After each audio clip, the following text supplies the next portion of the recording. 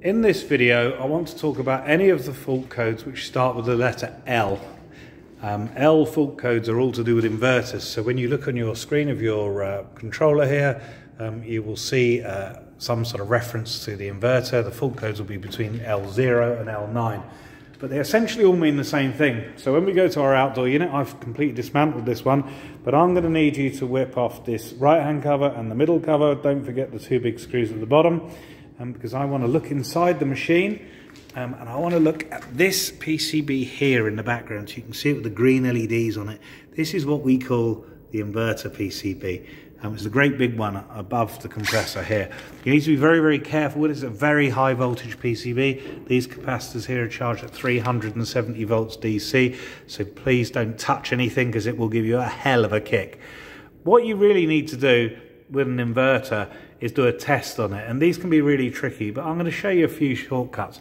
So to make life easy, I've whipped off the lid of the unit. And if you look here from the top, you can see the board is huge. Um, it's pretty much the full width of the unit. But I'm really only interested in one little part of it. If you look nice and closely there, you can see there are three LEDs.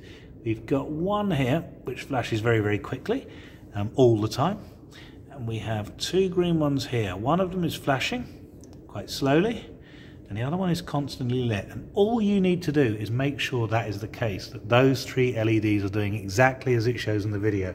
If anything else is wrong, essentially that PCB is fried um, and you need a new one. It's quite a tricky board to uh, replace. You've got to undo quite a few of these screws down here and so on to get to it. Um, but what I'd like you to do if you have an L fault code, turn off the power to the unit, immediately turn off. These lights will go off, but these green ones will stay on for about a minute. Wait till they've all gone off, so the whole thing is completely dead. Power it back up again. Check the green LEDs again and start the machine. What I'm looking for when the machine tries to start, so stand in front of it, it will take it six minutes, so you've got to be patient and chill out. But what I'm interested in this is, does the fan spin? Does the fan spin at all? So just check that. See if the compressor tries to start. It should start nice and smoothly, but sometimes if there's inverter problems, you get loads of shaking and shuddering and so on. So just um, check that for me. Um, and then what you need to do is give us a ring on tech support, which uh, you'll see the number in our YouTube page.